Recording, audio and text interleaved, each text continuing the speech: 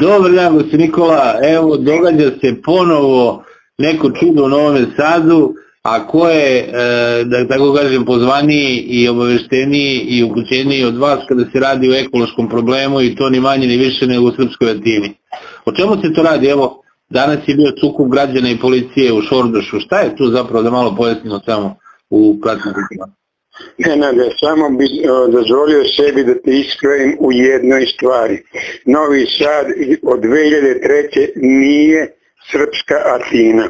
Od kada su bagerima prekopali deset masovnih grobnica, a nas dva put uhapsili, na rukama nas izneli iz grobnice posle tri dana i tri noći blokade u grobnici.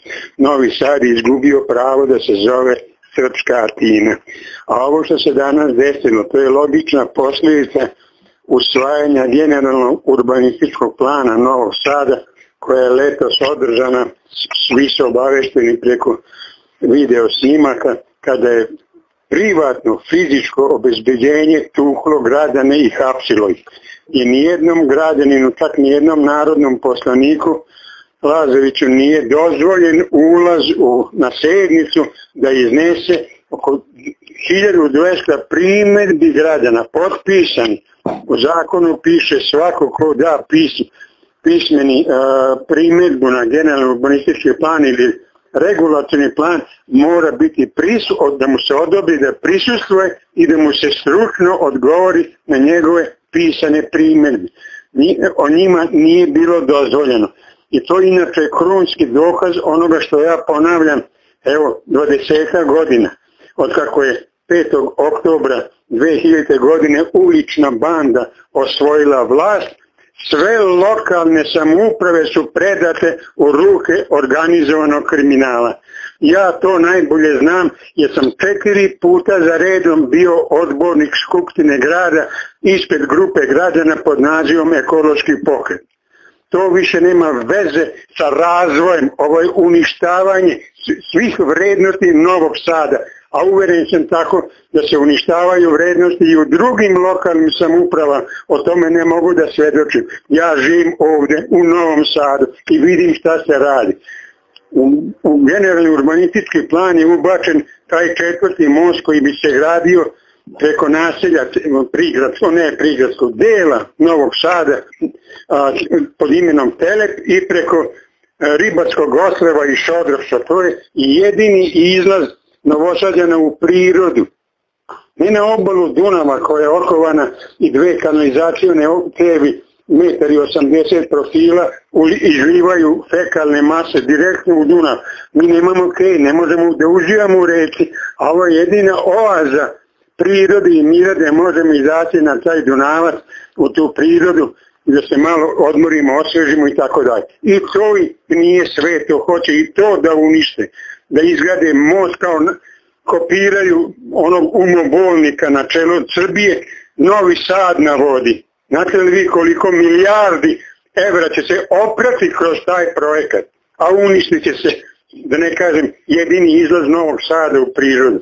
No, oni građani, aktivisti, spontano su se okupili, e, nijedna organizacija nema primat da kaže sad ona stoji kao ono kreni, promeni, režimski poslušnici i tako dalje. Baš sam ih juče obišao i dao im podršku, više od toga ne mogu ovaj, od juna mjeseca kampuju tamo na tom mjestu i jedan put su odbili gradivničke mašine koje su došle da trasiraju put uh, za taj budući most kao pod izgorom da se razminira teren, molim vas.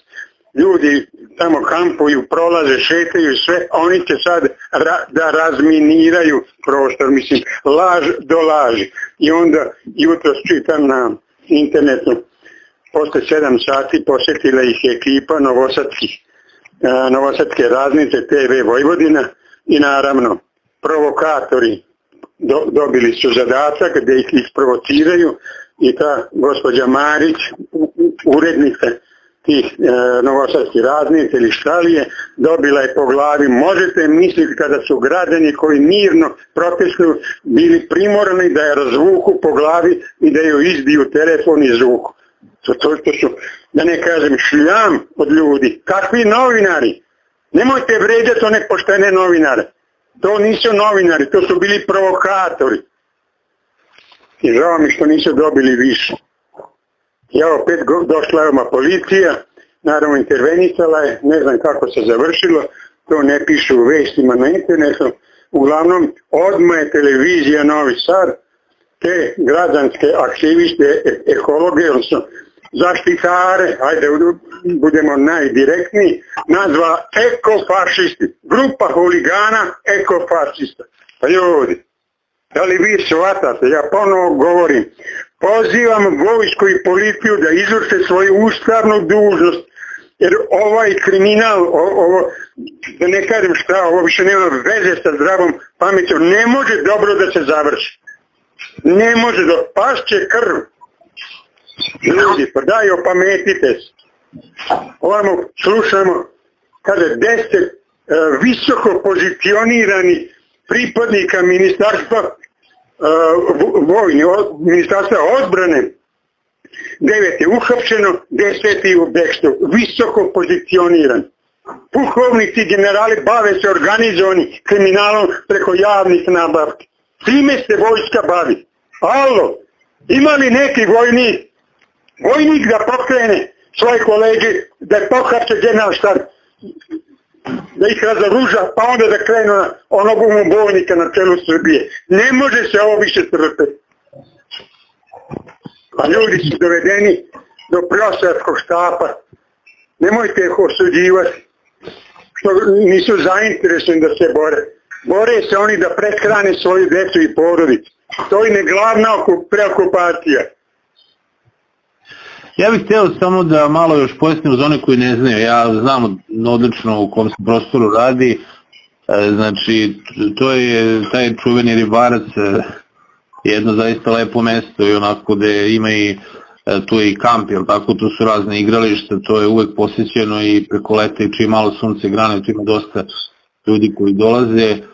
E, ovaj, to je, on je povezan jednim e, malim pontonskim mostom, tako, ovaj, a ima... Malo, Njenim put koji je zatvorio e, sprovođenje vode iz Dunavca u Dunav, zatvoren, sad onaj Dunavac, a, pored stranda gde je bilo brodogradilište zatvoreno, slepo trevo i tu se skupljaju fekalne Aha, otpadne znači, vode od ovih kafana i restorana. Nema puta između stranda i ribarca. Molim?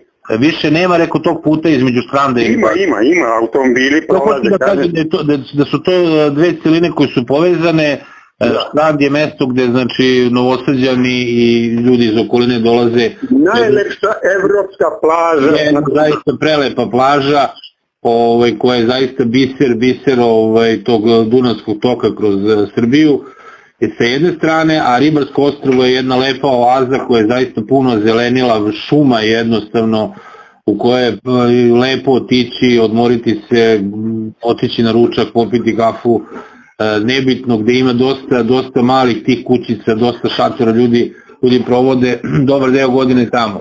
I ovi ludaci hoće u tom delu znači da postave most, da poseku celu tu šumu i naprave takozvani novi sad na vodi, na tom, na tom delu koji je potpuno znači zelena oaza. Ja bi to nije isto, ali za one koji su ovde u Beogradu, znači koji to je nešto kao kad bi recimo Adu signaliju posekli selu, izbacili sve one ovaj, slavove, sav one sportski sadržaj koji imamo na Adi i jednostavno od toga napravili tu most i zabranili dolazak ljudima na Adu. To bi prilike bio panda, recimo pa Beogradu, neki znaju. Pa prizemno naselje Telep srušiti da, i izgraditi. Kuće, da, to su stare kuće, to je, to je Telep je bio do Užara, je bio tako ulazak u Novi Sad.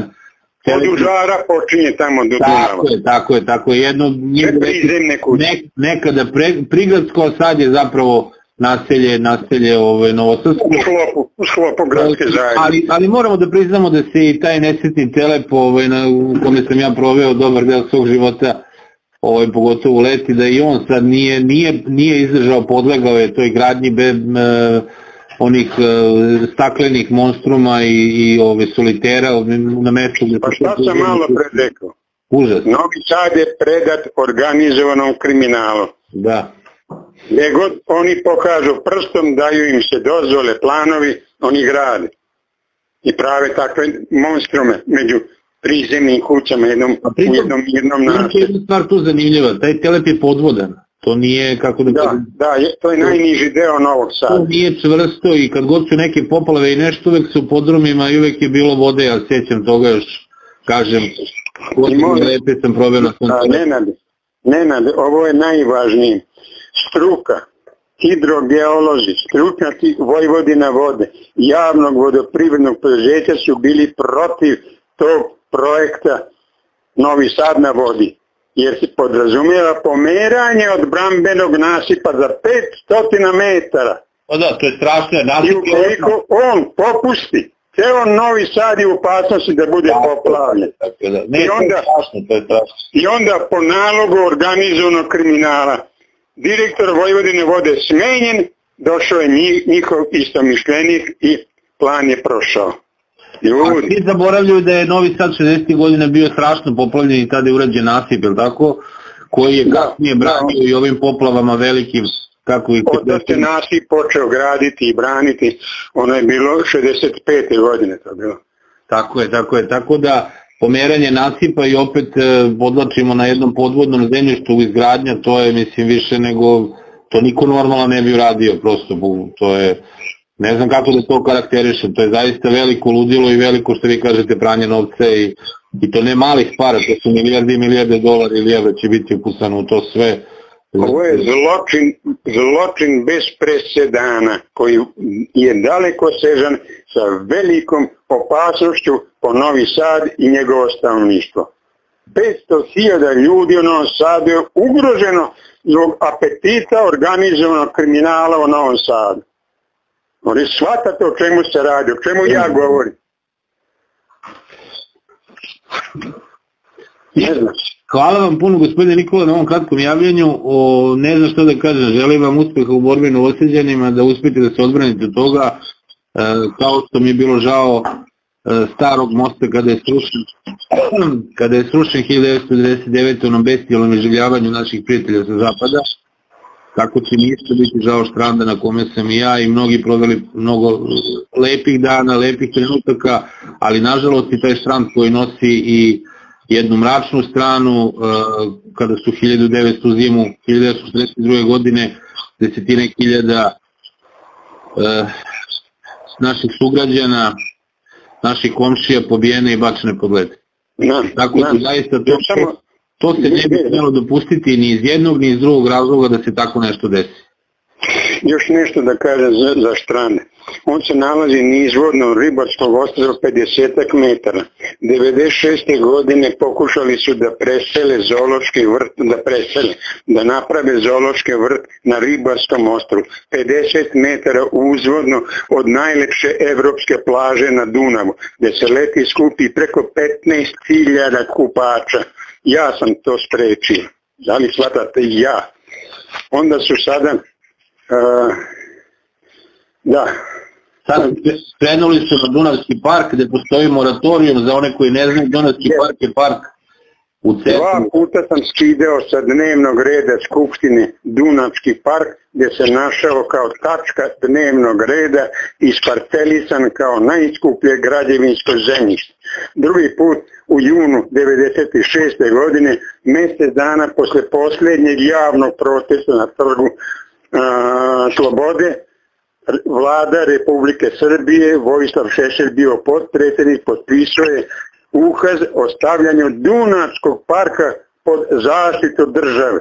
I opet je bio ugrožen, jedan je teo da napravi kafanu umjesto kioska, pa se počeo širiti. Ja sam se dopisivao sa vladom. Rekao sam, ti kriminalci vas sada testiraju. Vi ste doneli uredbu o stavljanju Dunavskog parka pod uh, zaštitu države. Oni vas sada testiraju. Onda je gradonačelnik Pavličić nama, ekološkom pokretu, podigao zakup za više od 300% kao odmazdu što sam sprečio širenje kafane u zakonom zaštićenom parku. Sad su počeli da napadaju i onaj rukometni teren, mali stadion tamo koji je od uvek bio u sklopu Dunavskog parka, hoće da grade tamo opet u, Dunavskom parku da grade. Pa ljudi, imali kraja tom zločinu koji se vrši nad novoseljenima.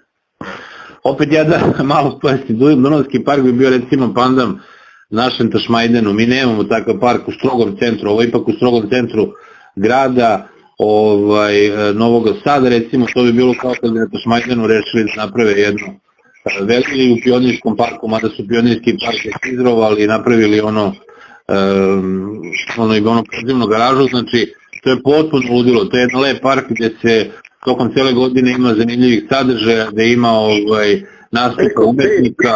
Preko 5000 prolaznika dnevno prođe kroz Dunavski park. 5000.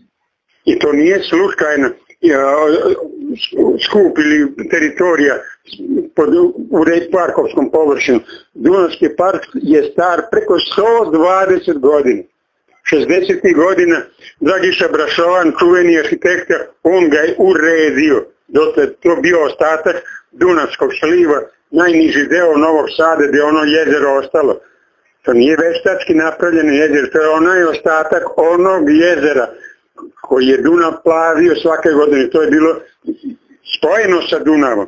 I ostalo je samo to jezero u Dunavskom parku. I to im nije svet.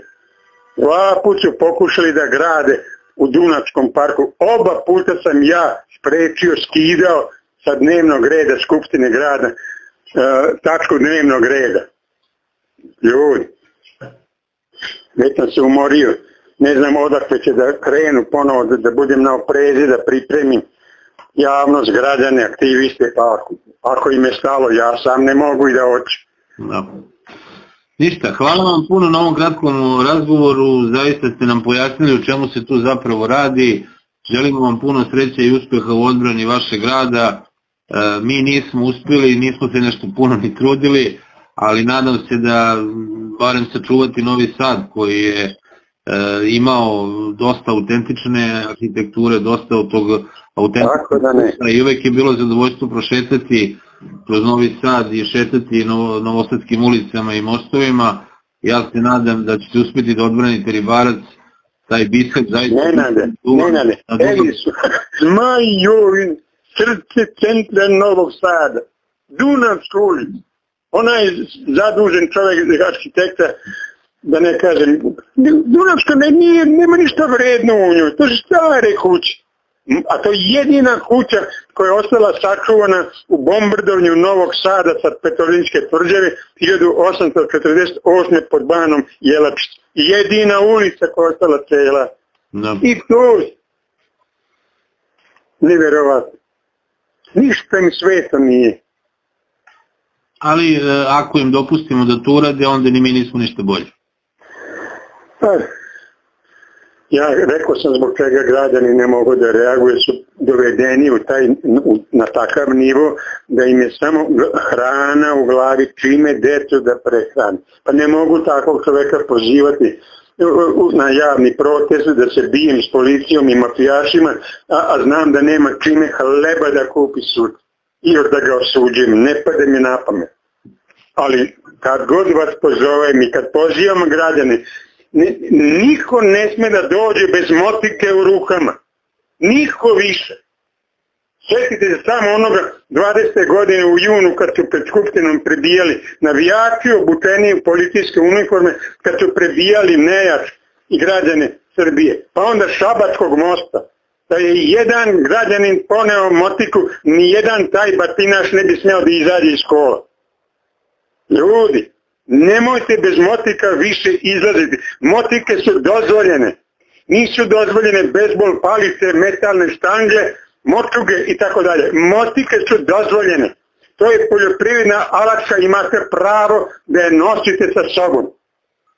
A jedna motika može da zadrži deset tih navijača i tog polusveta. Ovo ozbiljno shvatite.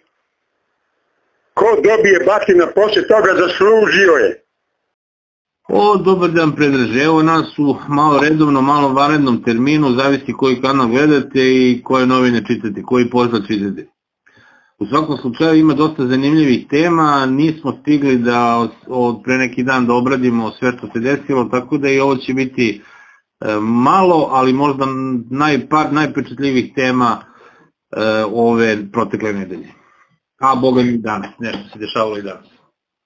E, e, sad, ja ću da zloupotrebim ovu priliku da samo sa e, web sajta ko, koji uređujem inat.online kažem neke tri male zanimljivosti koje ja mislim da su bitne, možda nisu najaktuelnije od danas ili od juče, nego od pre par dana, ali i dalje se to vuče. Prvo sam ja tamo da se našao tekst koji je objavljen e, na sajtu Nova srpska politička misao i zove se, naslov je Dvojac opakih namera i slika je jedan pored druga Vučića i Đilasa i tekst je napisao e, Dragan Dobrašinović. E sad, tu bit ću što kraći da ne davimo s tim, ali ovo potvrđuje nešto što smo nas dvojica odavno pričali, samo što je ovaj čovjek koji je profesionalac i novinar to lepo sročio i rekao.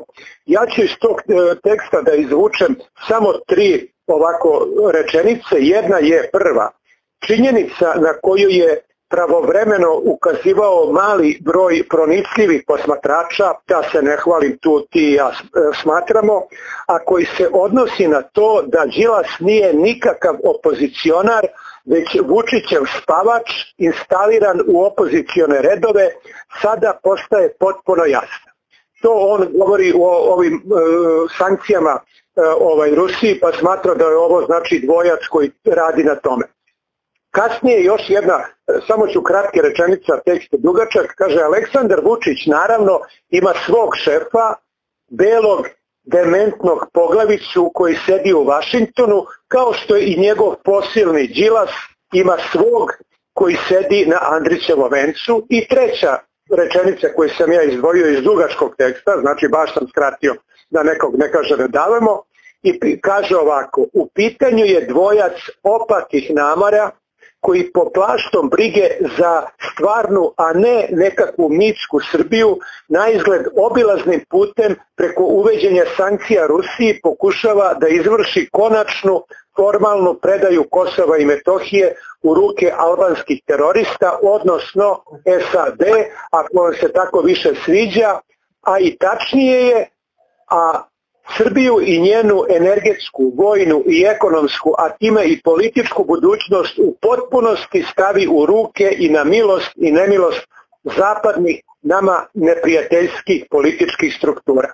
To je znači, ajde da kažemo jedno mišljenje ovaj, sa nove srpske političke misle i to je evidentno da je čovek koji je ovo pisao, onaj koji jako podržava da kažem Rusiju, a protiv Zapada, ali lepo je to sve napisao, sad ko se složi, ne složi, ali ova njegova glavna ideja da je Đilas e, jedan trojanski konj i jedan prevarant totalni, to smo mi, moram da kažem da se pohvalim, e, ovaj daleko ranije videli, naročito ako se sećaš, mi smo ovaj u svoje vreme diskutovali zašto se on u onim davnim, davnim E, e, predizbornim kampanjama toliko istico i toliko napadao da, da je bio više nego Vučić na naslovnim stranama lopo Vukro 619 miliona, a pazi sad ga nema nigde, pazi. Nigde, nigde. Kako to neko da je bio svuda, svuda, svuda, u svakom ćošku, sad ga nema nigde. Dobro, to smo mi odavno videli, nego meni je drago da je ovaj tekst potvrđuje eto da nismo loši. A druga stvar što je meni zanimljiva, kazat ću zašto. Znači, opet da, da se drugi, drugi put da se izreklamiram to ko želi možda pročita, meni je to zanimljivo na ovom sajtu, a opet zbog tvojih nekih komentara e, izašao je, e, objavio sam tekst koji sam e, ovaj preveo sa iz lista Economist. Znači, ajde, dva najveća lista ekonomska na svetu su ekonomisti Financial Times i ovaj ekonomisti za njega, ja mislim da stoje ovi Rothschildovi i tako dalje. On je napravio tekst u kome e, su napisali da oni smatraju, znači kao veoma stručni, kao jedan od najstručnijih, da kažem, e, listova i najcenjenijih, da treba legalizovati kokain. I oni su sada ovaj objasnili zašto ovaj treba šta koje su prednosti to je legalizacije kokaina i tako dalje. I onda meni to liči ono što smo mi pričali, a ti si opet da tebe pohvali tu govorio kad smo mi pričali o ovoj LTGB i ovim pederima koji prave ove manifestacije, pa kako ćemo mi sada da priznamo pedere i da mogu da se venčavaju i to što će nažalost vrlo brzo da nam se desi. Čak pazi što bi se reklo da to nekako i priznamo i da moramo, onda je sad pitanje a šta je sledeće.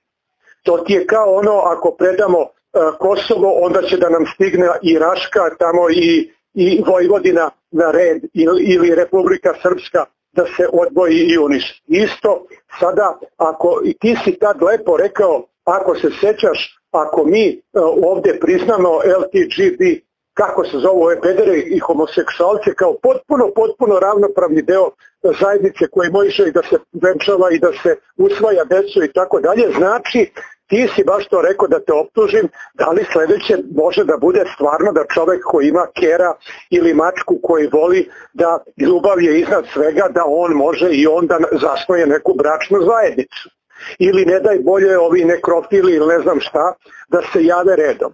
Kad je počela ova legalizacija marihuane, ja čak to bi bio i neko, ako nekad imamo tu temu, ali nije to atraktivno, ja tu čak i ne mislim da to je loše, ovaj, jer bi uh, smanjilo kriminal i to se manje više pokazalo u redu u drugim državama, ali pazi, ako je sledeći korak da mi legalizujemo kokain, pa posle toga i heroin, pa posle toga i ja ne znam koje ove sve ovaj droge, onda ovaj to pokazuje da, da, da je to krenulo nizbrdo. I ovaj prvi petao koji je prokukurikao je ovaj sada u ekonomistu, znači jako, da ponovim, jako ozbiljnom listu. Nije to sada pustio tu ves, ne znam, kurir ili neko ovo, nego izuzetno, čak bi ja rekao da ne preteram najozbiljniji list koji postoji ovako ekonomist, znači nam gura taj heroin kao sledeću ovaj neku stepenicu. I zato kažem ti,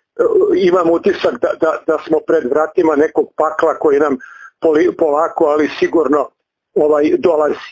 I onda opet e, treću, i neću dalje što se tiče uh, INA Info, treću vest koju bi ja to pomenuo, ako je jako osjetljiva, jer to od meni od ranije uh, pada na pamet, je jedan, uh, preneo sam sada sa sajta Borba za veru, koji opet sada, ja se tu ovaj trudim da na, na, na inat online baš prenosim sa izuzetno različitih izvora. Evo, na primjer, šta sam pomenuo, jedan ide sa nove političke misao, drugi je ekonomist engleski, a treći je, na primjer, borba za veru, e, sajt koji se bavi isključivo verskim pitanjima.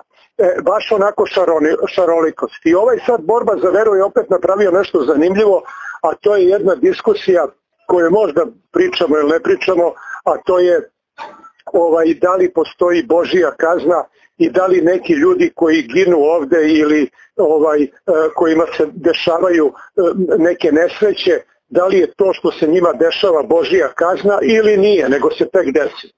Međutim, sad zavisi kako to gleda i ko ima ko da upotrebi, izvini englesku reč background ili, ili e, ovaj, ali na primjer za one najiskrenije ovaj vernike, oni koji idu stalno u crkvu, koji se ovaj ovaj čitaju i sveto pismo i taj deo vernika koji ne verujem da ima nažalost mnogo u Srbiji, možda jedno 5%, ovaj, koji se, ovaj, kažem, koji su redovno u crkvi, imaju svog duhovnika, sveštenika i tako dalje, ti ljudi ovaj, E, e, s kojima sam se ja družio, oni stvarno i iskreno veruju u Božiju kaznu i veruju ako se nešto loše desi, da ja ne navodim ne znam koje primere, da to može da bude i od Boga kazna. I sada ovi ljudi određeni koji smatraju da nam je crkva u jeresi, onda smatraju da Božija kazna e, stiže zbog toga i Amfilohija i Irineja i ne znam koga, sve e, pa i neke druge Tako da mi je to ovako zanimljiva tema. Eto, to sam pomenuo te tri zanimljivosti iz sa ovog sajta koji uređujem Inert Info, a od jutros meni je zanimljivo ovaj, ajde da, da, sad, da na kraju uh, završim sa jutros, ali meni je, ako me pitaš šta mi je bilo najzanimljivije prošle nedelje, meni je tu bilo najzanimljivije, ali pre svega zato što to gledam kao da kažem neko ko je radio u mediji, pa sve gledam, znaš, onaj koji je kao ja radio i u, da, malo da kažem u Engleskoj i u Australiji i u Srbiji u mediji i deo te medije i zna kako ta medija diše i zna kako rade i tabloidi i ozbiljne novine i televizije, šta sve to, šta je u pozadini svega toga, ovaj, e, šta je u pozadini tih svih objavljenih vesti, šta se sve dešava, onda e, sam opet ko zna koji put zaprepašćen ovaj, e,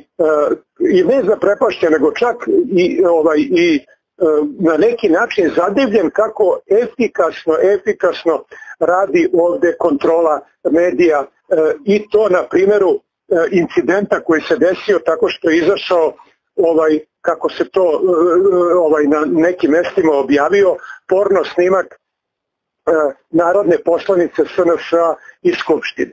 I sada, zašto je to meni zanimljivo? Zanimljivo je zato što je taj porno snimak izašao i što je najzanimljivije izgleda da, ova ja sam malo čovjek e, stariji pa sam tu zaostao, ali ova tehnologija tako brzo radi da od mojih deset prijatelja osam imaju taj snimak ovaj već, e, e, ajde da ga nazovemo porno snimak, u kome se vidi na, vrlo jasno naša narodna poslanica koja ovaj, kako bi rekao ranije su se da kažem ove žene koje naplaćuju svoje seksualne usluge, kao što sam znaš u svoje vreme davno zvali se kurve. Pa su se onda promenilo to ime u prostitutke i sad je najnovije, na primjer na zapadu, da se zovu seksualne radnice. Sad stalno se, na primjer, kaže se seksualna radnica ubijena ili seksualna radnica ne znam šta, znači seksualna radnica, znači ona koja radi u toj seksualnoj industriji. E sad kod nas e, je tu problem da ta seksualna kako bi rekao, ovaj, kao privredna grana nije priznata, ali je polu priznata, ovaj, ali opet zvanično, koliko ja znam ovde, ne postoje zvanične javne kuće nego ove koje baš nisu ozvaničeni i onda e, je tu problem da je nama e, na, na poslanica u stvari radila ilegalno posao. Ilegalno posao. E sad, za ovo što je zadovoljavalo... Nije platila porez, da i najvjerovatnije da nema fiksnu, fiksnu kasu i to je prekršaj, razumeš. I sada, i šta je meni zanimljivo, znaš, tebi je sad, ne, ovaj, nekom je verovatno, imaš, ja mislim da ogromna većina ljudi tu sad gleda ovo ono, ali gledaj, e, kad gledaš izvini, ovo je ovako malo originalnije e, moje gledanje nego vi ostali, ali ja gledam opet i ponavljam kao čovjek koji je e, profesionalno opterećen. Ovako neka vest, pazi, u svetu negde, da, je, da imaš dokaz na, na video traci, da narodna poslanica radi kao prostitutka, razumeš, e, i da je uhvaćena na radnom mestu, to bi bila vest pa koja bi se bar, bar jedno mesec dana eksploatisala i kod tabloida i kod novina, to bi bila atomska bomba. Ja da ti samo kažem, na primjer u Australiji je bila, bio slučaj da je uh, predsjednik stranke koja je bila uh, ovaj, kako bi rekao, u koaliciji sa vladajućem. Na primjer, kao kod nas Ivica Dačić. Znači, nije onaj prvi, nego onaj koji je s njima.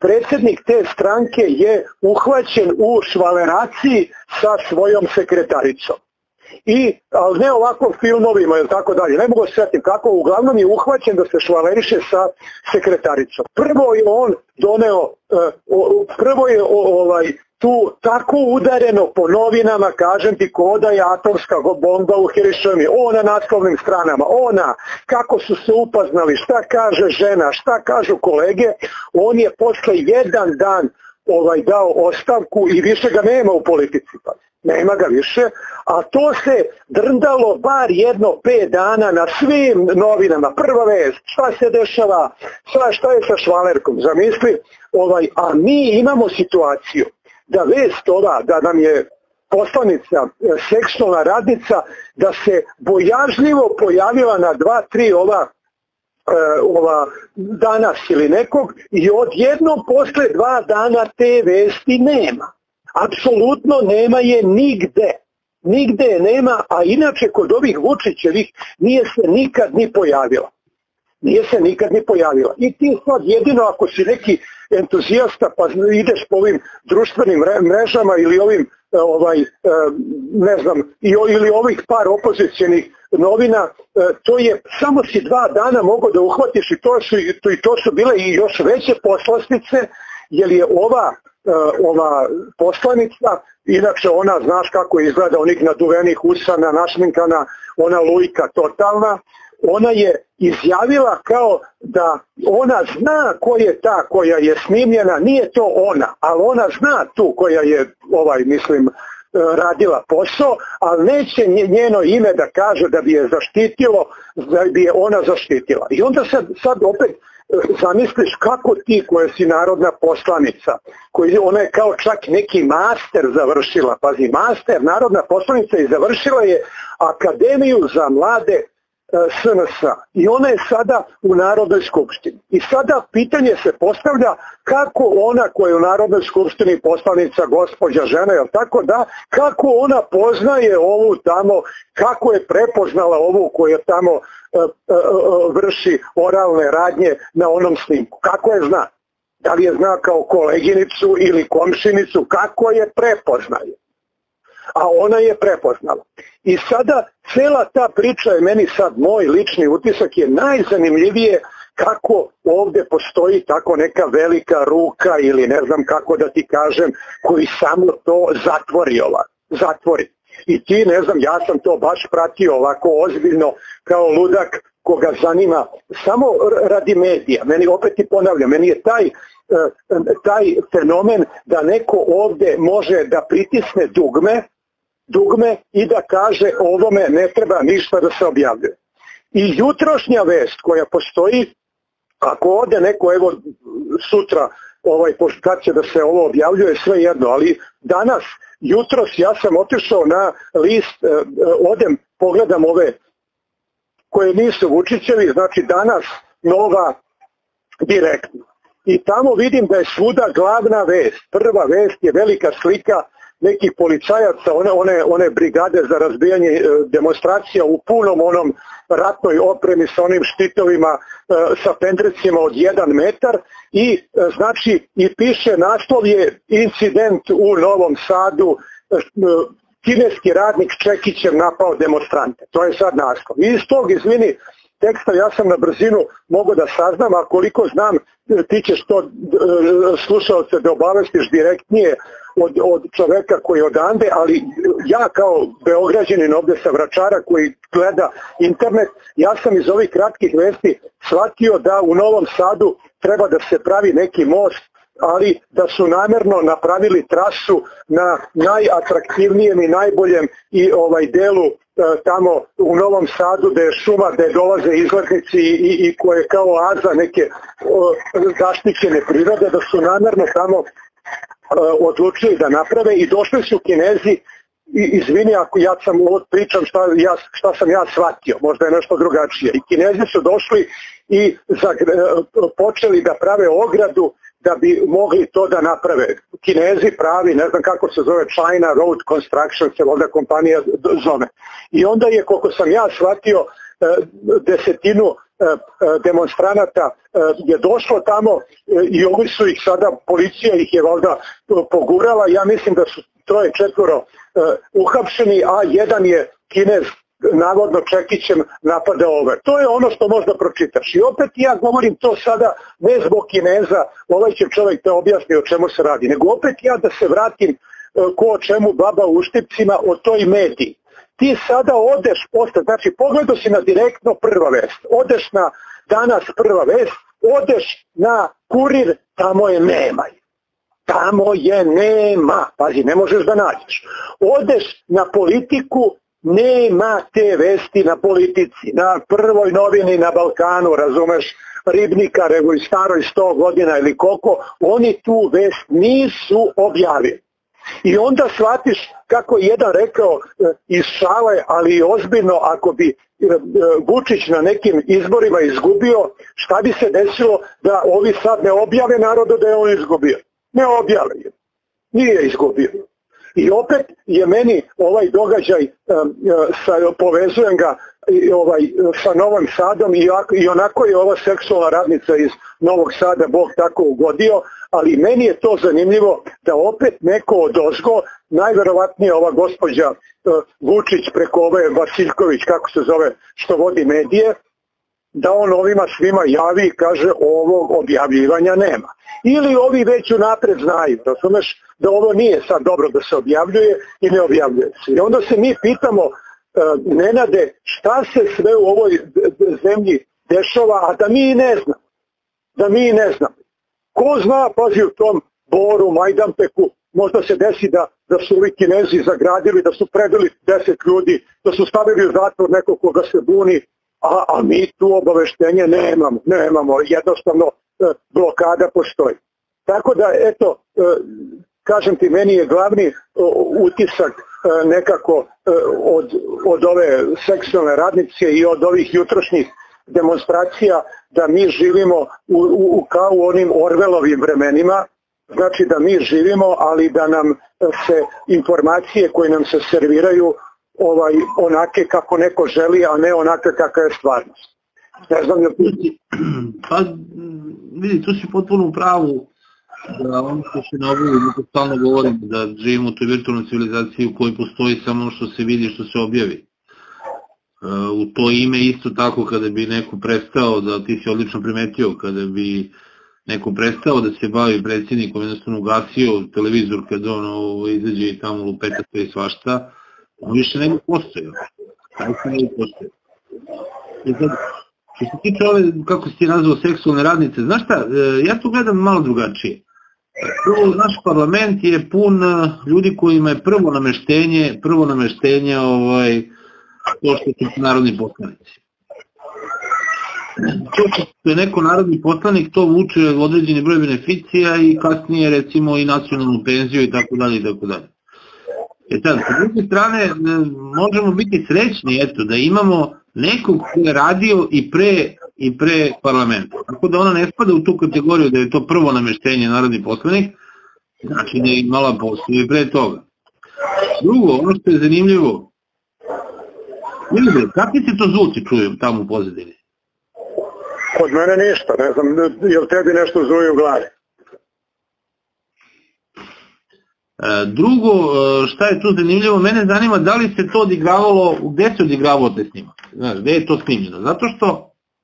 Pa u nekom, znaš šta, pa, pa, pa će ti ako nisi pogled, pogledao, ajde nije da... Ne, mene loše kodici ne zanimaju, ajde ti pravo kaže, mato, ne, ne, ne, prvo, prvo da ti ja kažem, da ti se suprostavim time kao čovek e, koji je u ranoj mladosti, pošto sam stariji, na VHS-u gledao kad je to pojavilo se prvi pornići iz, Nem, iz Nemačke, šnel, šnel, bite, bite i tako dalje. I, jeste. I u to vreme, znači, ipak si imao porniće, imao si i glumce, i glumice, i radnje, i ovo ono, ovo uopšte nije pornić, nego ovi naši zovu pornić, ovo ti je, ali to ozbiljno kažem, ovo ti je ilegalno snimanje e, prostitutke na poslu. I o čemu se radi? Znači dva momka su angažovali narodnu poslanicu da ih oralno zadovolji verovatno zajedno u isto vreme, da, verovatno jer je popust na dva.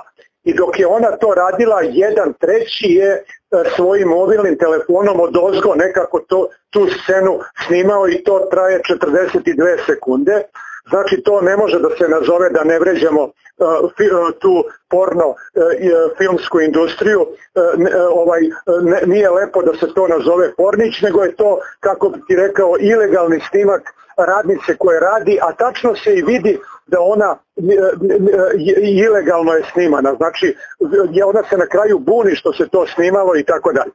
Tako da ti bude, da bude odmah jasno da to nije ovaj pornić.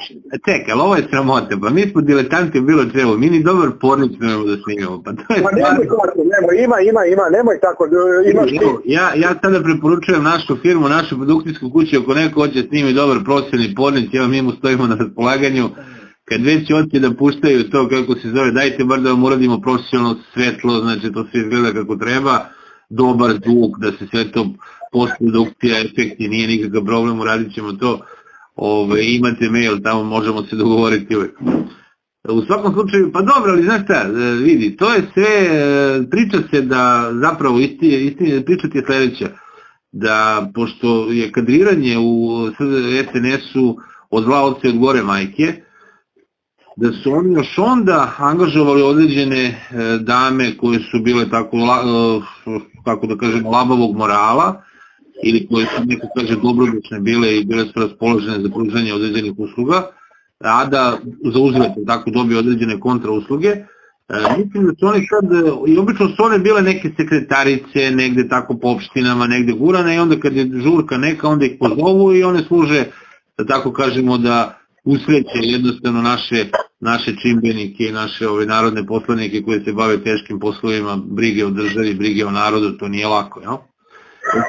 Kažu da su oni sad ovo podigli na jedan viši nivo i da su zato gomilu tih plastičara zapravo zaposlili u Skupštini i dali im poslaničke plate, naravno mi izdržavamo njihove, što ti kaže, seksualne radnice, i one ovaj, postaju, kako se zove, ovaj, sad su one nama postali narodne poslanice, da oni mogu, jednostavno da ne moraju više da idu na, sad ne kažemo koje mesta, ali zna se, znači gde se u okolini Beograda nekoliko tačaka ima gde se održavaju te zanimljive, ovaj, ti zanimljivi skupovi, noćni, noćni, i sa devojčicama i sa dečacima, ovaj, nego su sada tu radili prosto u skupštini, znaš, da mogu odmah tu da rade, imaju svoje prostorije, verovatno imaju neke prostorije za to, tako da znaš, ono, kad te nekome, jel tako, dođe mu frka, on pozove koleginicu, je koleginica, se sagneš malo i to ti je to. Tako da, znaš, ovo je sada jedna, e, ovo je jednostavno slika današnje e, političke, političkog stanja u Srbiji, stanja u društvu, kako god hoćeš,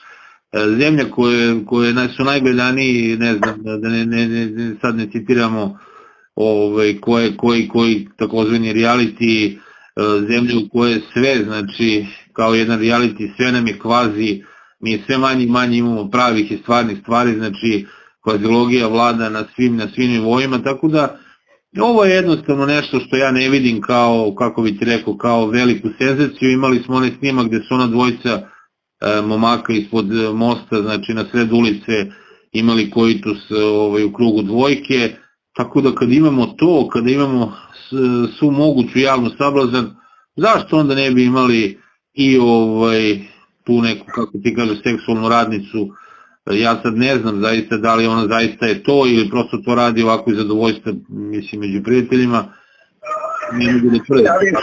Ali, ti si stvarno, mislim, primetio da je ona za razliku od ovih ostalih e, jedina koja je pre ulaska u politiku nešto je radila.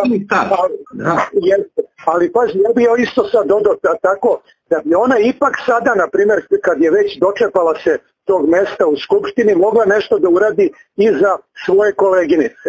I mogla bi tamo da digne glas, na primjer, da imaju popust uh, kod zdravstvenog osiguranja, na primjer, da onda i tako... Ali vidi, da ti kažem, ja moram, ja ti znaš da ja volim da ubacim istoriju, ali gledaj, e, budimo realni, ovde je još uvek e, među najomiljenijim i najpoznatijim predsjednicima vlade e, Nikola Baja Pašić, je tako?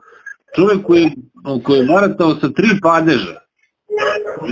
Jedan lopov, poštaper, strani špijun, koji je tri padeža baratao danas i evo ne vidim glume ga, karakterni likovi, ne znam, ima, ovaj, ima bistu u sred grada, mislim, jedno ismevanje ovog naroda, razumeš ti, jednom lopovu, hoštapleru, stranom špijunu, ne, polupismenom, razumeš, i, i kako da kažem, jednom, jednom, jednom čobaninu, on, u onom smislu, ne da vređemo čobane, nego bukvalno jednom, jednom ovaj, čovjeku koga nisu dobar, ni, ni, dugi niz godina ga nisu sasvim ne razumeli šta priča, a frljio se, jel tako, sa padeži, ovaj, on je danas ovde jedan od najmiljenijih političara u srpskoj modernoj istoriji. Tako da, kada imaš takvog jednog ološa koga svi slave, onda ti prosto normalno da u jednom trenutku dobiješ, dobiješ to što mi danas imamo i jednostavno ja tu ne vidim, ne vidim nekako gledajući tu istorijsko propadanje ove Srbije i vremenskom, vremenskom ovaj, toku, ja ne vidim tu ništa posebno što je to ona, eto samo mogu da pozdravim što je ušao u parlament neko kome to nije prvo nameštenje, zato je to je to što se mene tiče toga, o tome, a zaista me ne bi komentarisao, misliš šta, loš pornić, loš pornić, možeš misliti, znaš, takvih snimaka, ono što je meni skandalozno, da se razumemo, ono što je meni skandalozno to je da i ti ja smo bili ta generacija kada e, su samo najhrabriji najbezobrazniji smeli da zapale cigaru u osnovnoj školi, to neki tamo osmi razred ovaj, u WC-u, znaš. Već u srednjoj školi to je bilo malo češće, ali još uvijek je to onako nailazile tetkice, nastavnici, terali nas i tako dalje. Ali ovaj, mi sad imamo ono što meni više smeta, moram da priznam, to je znači već u šestom, e, peti, šesti, sedmi razred uveliko već imamo te snimke koji kruže internetom, znači e, de, devojčice zaista više nego maloletne, mislim, to je koliko je šesti razred, to je koliko, 12-13 godina, mislim, onda ne znam, imamo te, snimke o oralnom zadovoljavanja, imamo to snimke, snimke maltretiranja, imamo snimke znači gde se i dečalci i devojčice istog pola, tako znači ono krlje između sebe. Meni je to već, to je meni mnogo skandaloznije i mnogo opasnije generalno gledano, razumeš, da, da ne pričamo o tome da, da nam je s time nam je upropaštena i prosveta i sve ostalo, meni je to mnogo skandaloznije nego što jedna ta žena koja je čim je i ugrađivala te silikone i spremala se na, to, tako, znači radila je usne da samo, o, da bi imala bolji gruping ili već sad se postiže sa, sa ovoj, kakve informacije dobiješ. Tako da meni to više manje više normalno, moram da priznam. Nažalost, normalno u današnjoj situaciji. Eto. E sad, sad, znaš da, ne e, sa ovom temom, mislim da je bilo dovoljno, izvini, sad ja opet da navrnem ko čemu baba o ja o Srpskoj pravoslavnoj crkvi i o Porfiriju, ali ipak je ovog puta nije na silu da, da tražim povod, jer u proteklih nedelju dana od kad smo se mi čuli, patrijarh je bio na dva značajna mesta, na mnogo značajnijem, znači u Pećkoj patrijaršiji, gde je ostoličen za arhijepiskopa e, Pećkog, a odmah posle toga, dva, tri dana posle toga je bio u Vukovaru ovaj, u susjednoj Hrvatskoj gde je u lokalnoj crkvi e, služio svetu arhijerijsku liturgiju i na oba mesta i tamo i vamo je održao prigodnu besedu ovaj koja je njemu svaki put ovaj tu i vidimo onako da svaki put on čita tu besedu sad u zavisnosti gde se nalazi. Na primjer ispred hrama Svetog Save je to bilo malo modernije pa je sa laptopa čitao a ovdje valda na Kosovu su malo zaostali pa je morao sa papira znači da ipak pripremio te besede u ovim e, našim teškim vremenima. I onda ovaj, e, e,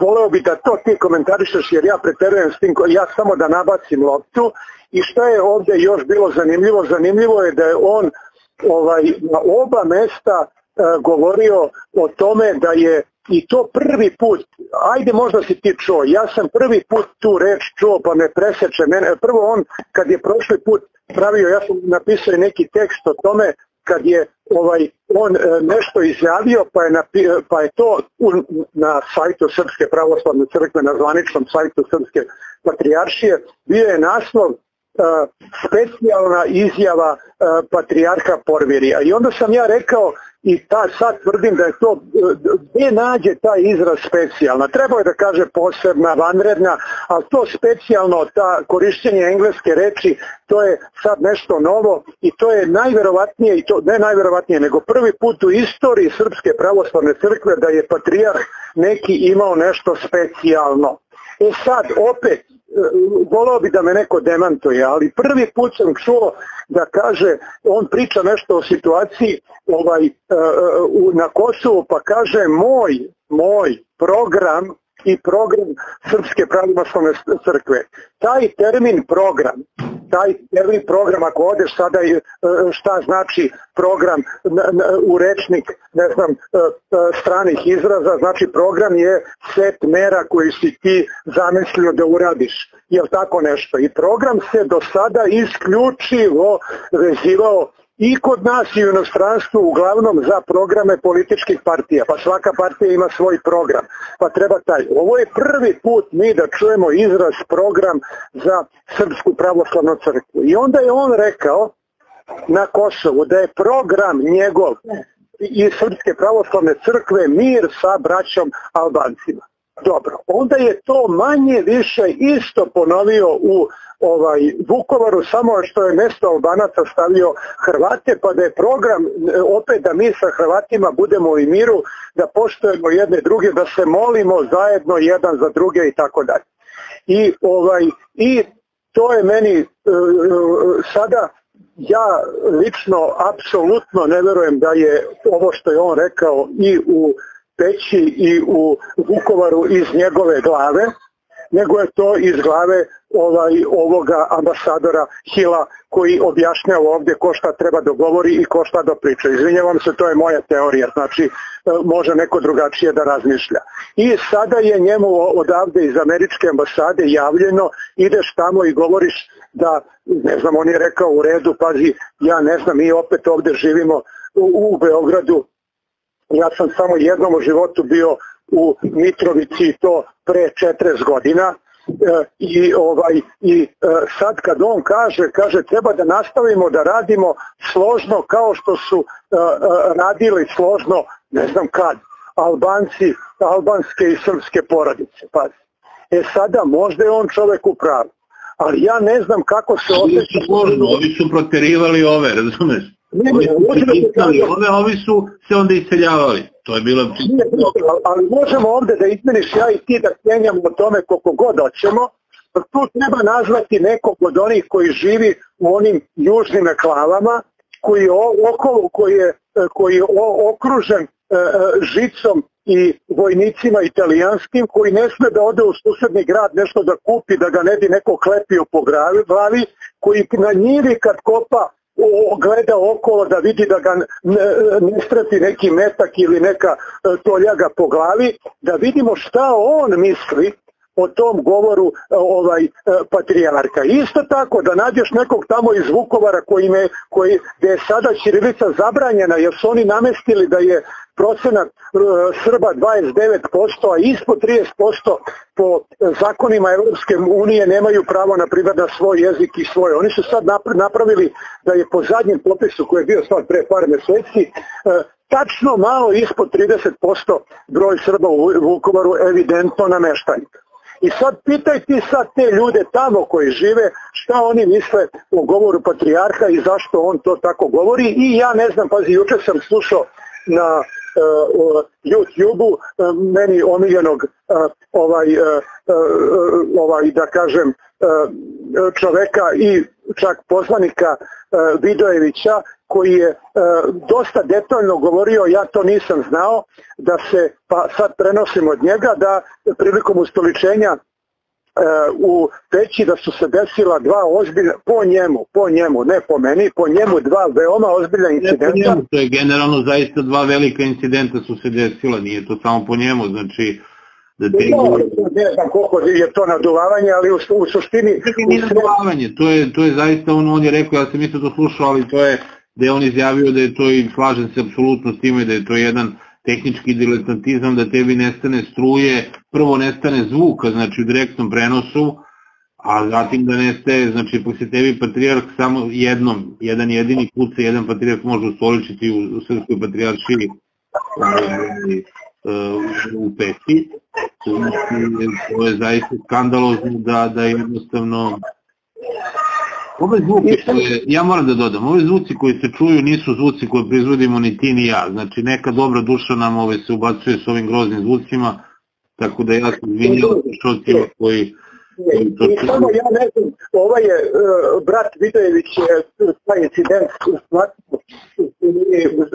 mnogo ozbiljnije nego ja i on smatra da je to diverzija i on čak tvrdi kao poznavalac uh, tehnički, ajde da ga ja ne prepričavam jer kaže da je on E, ja mislim 10 godina u radio televiziji e, Beograd radio baš u repor, reportažnim kolima i baš je radio to znači snimanje tih direktnih nekih događaja i on objašnjava evo da ga ja sada ovaj prepričam da po njemu kao znači s tehničke strane nije nikako mogao da se pokvari ni mikrofon. Ne, nije, nije moglo, znači gde se tehničko dozivanje dešava se nama nekad i to sve, ali To ono što smo pričali za, za, ovu, ovaj, za snimak uradak ove naše poslanice. Vidi, kada dođe profesionalna ekipa, profesionalna ekipa, ekipa je tako to prati, ako se nešto desi, to se zameni, znači nosiš rezervne mikrofone, e, svetlo rezervno i tako dalje, kamera je tu ako treba, ne znam, znači tehnički se to pokriva tako da ti ne može da ti se desi tako nešto, pazi, može da se desi i nama. Mi smo mala produkcija koja je nezavisna, koja, koju niko ne finansira i prosto ne može niko ti zameri, meni je smešno kad se javljaju u komentarima, je loše vam je loše, pa dobro, daj pare pa ćemo popraviti.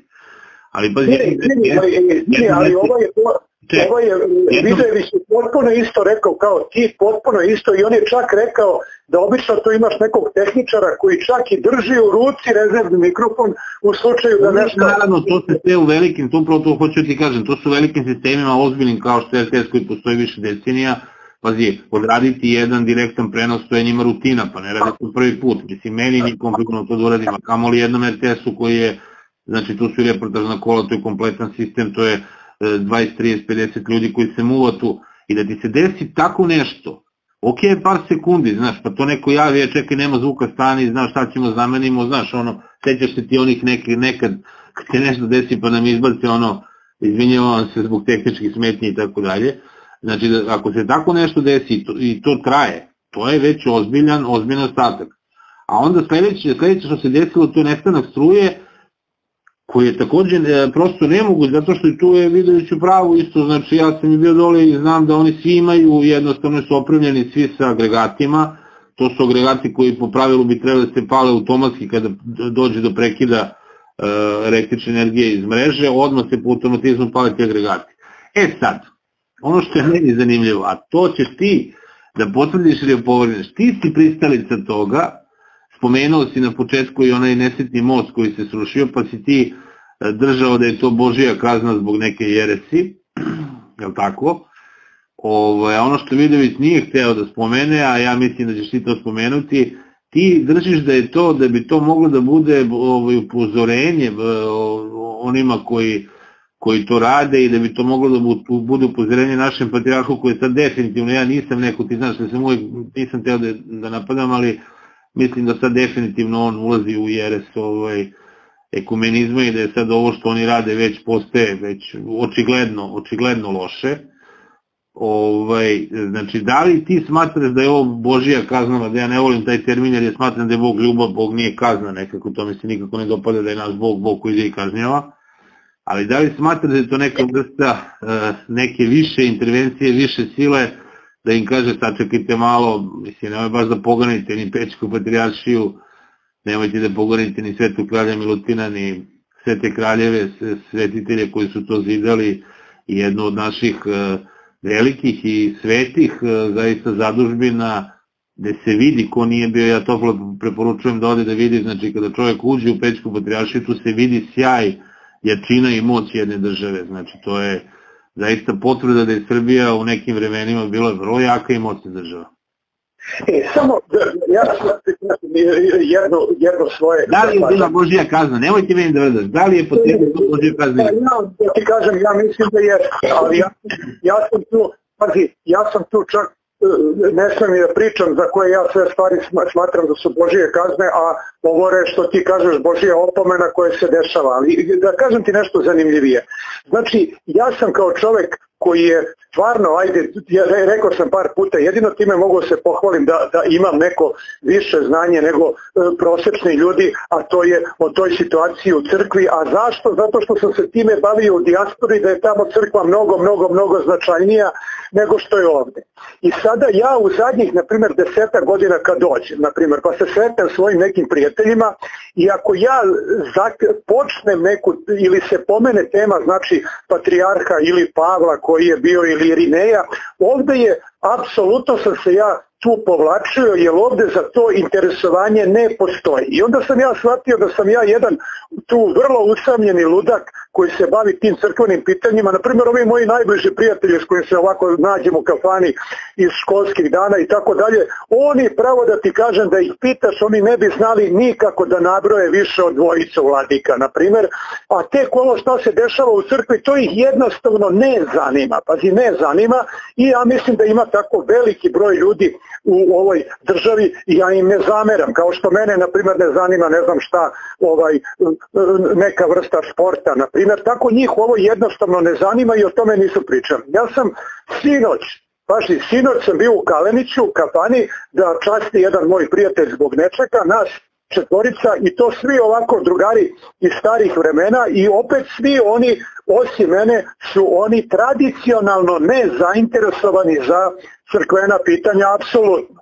E, sinoć, pazi, to nisam ja potego pitanje, nego je potego sada, ono, znaš, pričao jedno, pričao drugo, malo ovo, malo ono, ovaj, po, po, uh, izdiskutovali smo najviše ovaj snimak, ovaj, uh, seksualne radnice, šta će što je aktuelno i onda krene malo priča o Porfiriju. Ja se sad iznenadim, pazi, da odjednom ova trojica su sada tu, kako bi rekao, u fazonu, znaju što se dešava i sva trojica, pazi, i sva trojica dele to mišljenje da je Porfirije, a što možda i nije tačno, ali hoću ti kažem, postoji tako mišljenje da je Porfirije Vučić u manti. I onda je zanimljivo da je ovaj Porfirije za svojih par godina E, stolovanja uspeo veoma mnogo da, e, kako bi ti rekao, uradi protiv crkve i da su sada komentari u svoje vreme, kad sam ja kritikovao neke stvari pre 3, 4, 5 godina, ovaj, e, kritikovao neke stvari u crkvi, pre svega srebro ljublje kod naših episkopa i ovih i to da su se pretvorili u, u, u apsolutno u kompaniju, da oni straže e, ovaj sledbenike, a ne vernike.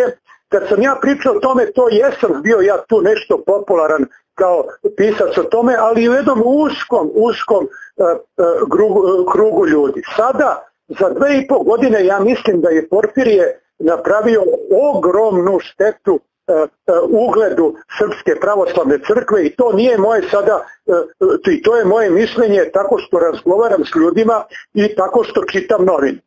I toliko se sada je on i ja mislim, to sam ja negde i rekao da je to i planirano. Znači on je i postavljen tamo iz nekih hodnika Pentagona ili ne znam odakle kako je došao, on je evidentno po meni projekat američki i onda je on ovde i postavljen da svojim nastupima da kažem tako blamira crkvu što god može više e, jače i bolje. I tu imaš primjera koliko god hoćeš i on je sada postao, na primjer kad bi uzao njega da porediš i Irineja ili ne daj Bože da ga porediš sa patrijarhom Pavlom, da, ga, da, ga, da, ih porediš u nastupima, u, tome šta pričaju, kako se ponašaju, pa ovaj apsolutno ko Vučić, njega prati grupa sa kamerama on ode kao da da krv, od jednog 30 kamera je tu jer je on dao krv. On otišao tamo neke tamo da hrani neke ovaj, onim kuhinjama, za, njega, za njim ide ekipa cela koja to snima. On tamo e, snimaju ga sa dronom i tako dalje. Znači on je sada odjednom od onog Pavla koji je bio u nekom 16. veku, kako je ratio, otišao u 22. vek, e, e, ovaj, e, sad možda neko to smatra i da je pozitivno, ja to smatram da je negativno, jer što ti kažeš, imamo strašne promene, što ti kažeš, evo, kakve su nam promene u u školama, na primjer, a šta je bilo ranije, kakve su nam promene na televiziji, šta se dešavalo ili u skupštini, kakva je sad, kakva je nekad bila, nažalost, bar smo mogli bar smo mogli da zadržimo jednu instituciju u ovoj državi, bar jednu jedinu, a to ti je Srpska pravoslavna crkva koja bi uh, sledila neke korene i neke tradicije koje ima od, od Varnave ili ne znam čak i ili ne znam koga i od Svetog Save do danas. Ne, oni su to, kao i ovi u osnovnim školama i srednjim, što su uništili, pazi, osnovu na kome su ipak te škole nekad pravile i ovaj potpuno uništava tu osnovu ovaj, da sada e, masovno se ljudi, e, masovno gubi, kako bi rekao, popularnost Srpska pravoslavna crkva, ali to neko hoće. To neko hoće jer mi je Srpska crkva jedna od osnova, čak ja mislim, i, i, i, glavni temelj e, da zadrži ovo nacionalno i da nam zadrži državu, jer tako je uspešno ako ćemo tačno radila kroz vekove i sada neko ko nam želi zlo želi taj temelj, jedan od tih temelja, kako bi rekao, da razmrda, da ne bude jak i to radi jako, jako uspešno jako uspešno zahvaljujući ovom portiriju koji nam tu e, ovaj e, to radi i, i, što se sve dešava. To je ako moje mišljenje, ali ovaj ako neko misli drugačije, ovaj ne bi se bunio. Mislim svako možda gleda na svoj način. Ja to kao dugogodišnji posmatrač zbivanja u crkvi gledam da nam e, ugled crkve klizi, klizi, klizi, klizi i da je ovaj pitanje koliko će, ako ovaj nastavi ovako ko što radi, e,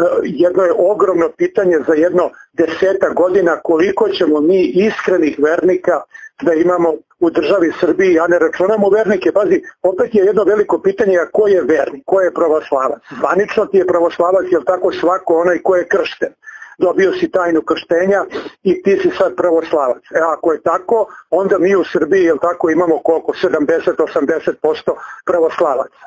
Ali ako ti računaš sad pravoslavac, da je onaj koji posti ove postove koje se pričešćuje, koji, e, koji ide redovno u crkvu, koji poštuje e, zapovesti Božije i koji tako živi, onda bi ti taj procenat sa 80 pao po meni pa negde 3 do 4% u vrh glave, a ovih e, ostalih 67-8 su u stvari takozvane tradicionalni vernici. Znači idem da krstim dete, zašto? Pa zato što su svi to krstili, pa ću ja, a da ga neko pita šta je ta tajna krštenja i, i šta se ta dešava, on to nema pojma, ali on će znači da napravi e, pečenje, krka, e, roka i zoveš e, muziku, dete se krstilo i mi smo sad svi pravoslavci. I taki se pravoslavci stvaraju od strane crkve i od strane portirija, znači sledbenici, a ne vernici i mi za deseta godina imat ćemo jedno sekularno društvo u kome će crkva u stvari da bude više kao neko pozorište. Idemo u pozorište, sad će pop da peva, razumeš, i završit će. Ja sam tebi rekao da je meni ona tako gadna scena kada, e, e, kada ovaj e, Marković ovaj Palma dovede dva sveštenika koji blagosiljaju nešto, ne znam, ne, nešto tamo šta on pravi i oni pevaju tamo i kad su završili on onako grubo im dolazi, a kamera to snima i kaže ajde, ajde, kaže sad ste završili posao, ajde pomerite se. I tera te ljude da se sklone i oni sad odu i on sad nastavlja naravno sada Đani će da otpeva svoje pesme, razumeš opšte veselje, doći će i ove ovaj što snimaju filmove da obogate ovaj sve to i onda tu vidiš jednu tužnu tužnu činjenicu da ovom ćelavom e, ludaku e, ovi služe samo kao pozorište da se on sad prikaže među seljacima u odelu i kravati kao neki vernik i znači idemo u totalnu sekularnost gde, gde crkva postaje samo dekor. Eto. Zahvaljujući Porfiriju koji je tu glavni izvođač radova.